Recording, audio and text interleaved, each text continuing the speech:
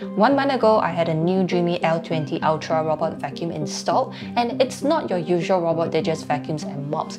This has a direct connection to the water pipes which means it will automatically fill up the water tank through the water inlet pipe and also automatically drain out the filtered water from the outlet pipe to the drain. Now this is a huge feature for me because I run the robot two times a day for seven zones at my new place and I like to re-wash the mop pad before mopping the next zone. So this process naturally requires a lot more clean water. So just imagine I have to refill it two times a day and throw out the dirty water two times a day. It's not a lot of work, but a hassle to do it before I could use it. So the water pipes connection looks complicated to do, but if you don't know how, you could always pay an add-on fee and Dreame will make the arrangement for you. Note that you need to place the robot near a power point, a water inlet, and the drainage. And I'm so impressed by the suction power. I mean, it's 7000 Pa. That's a lot of power to pick up dirt on hard floors and one of the highest suction powers I've seen in robot vacuums. I mean, we used to have 2000 Pa and it was working fine, but now it is three times stronger. Well, there isn't any dirt that couldn't be picked up with this robot and it saves a lot of time vacuuming and mopping at the same time. To me, the floor feels really clean and it's hard to find anything to complain about. And on the app, you have two ways to start a cleanup through the Clean Genius, which will focus cleaning in areas that are more dirty and repeat cleaning as needed. Now, this is all automatic AI. Personally, I don't use this mode because it is too detailed, takes up more time, and I don't like the suction power to fluctuate. It can be a little noisy to endure.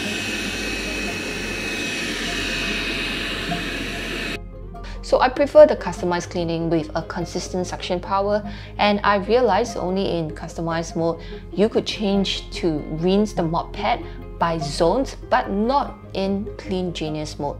Another feature that is new is when it gets really close to the edges, it will swing out the mop pad as close as 2 mm away from the wall this is a good improvement because in the past the robots go too near to the wall, it will scratch and leave a mark.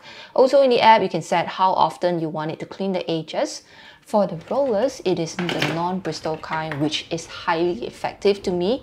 I barely find anything stuck on it. It works very well on floorings and when it detects carpet, you could set it in the app to remove the mop pad at the base or lift up or avoid it.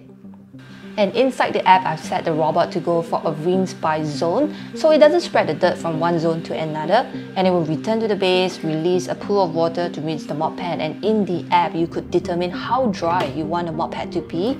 It will spin away the excess water and mop the next zone. And after finishing the cleanup, it will return to base for a rinse and automatically dry the mop pad with hot air for 2 hours, followed by emptying the dust box inside the robot to the base. For the dust bag in the base, it holds up to 75 days of dirt, but I feel that this number will vary by the size of your home and if you have pets or not. Now the final step, it will refill the water tank in the robot automatically to be ready for the next clean up. Technically, it's full of automation, but still requires some cleaning. Example, once a week. First, I would say is the base. Press the home button to remove the robot. Hold the home button for 3 seconds to release water into the base. And use the brush provided to scrub. You can also remove the base plate to clean. Hold the home button again for 3 seconds to drain off the water. Press the home button again to bring back the robot to base.